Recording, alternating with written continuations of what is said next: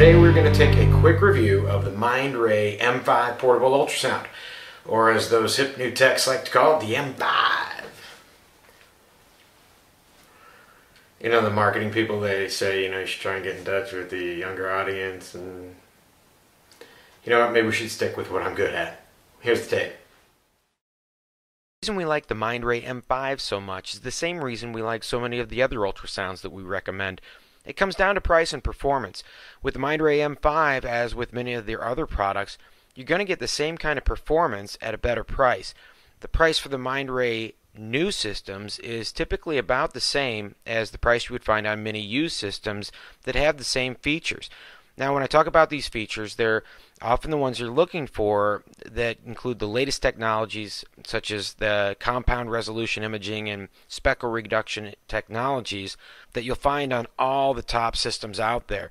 What they do is they provide excellent image quality, particularly in the near field range. And these well priced ultrasounds are such a great option for the small practices where budget is a big concern where they're looking to make some extra money in their business and provide an excellent option for all of their patients where they don't have to send them out.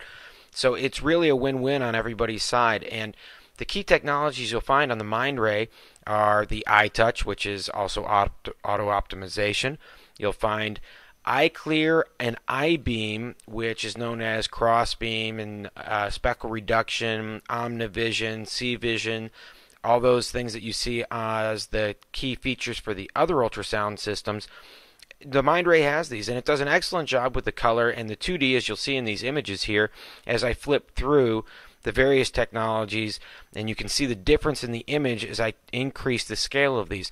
Now, also, the Mindray has something that you won't see on others, it's called the IP processing. It's image processing that allows you to adjust a number of parameters, including the dynamic range, persistence, line density, all at the single touch of a button. All you do is click it up and down and find the setting that you like without having to change a bunch of knobs at the same time, which really gives you the image that you're looking for. It allows you to kind of optimize that image for what you like to see, whether you like the Acuson images or the Terason images or the Philips images.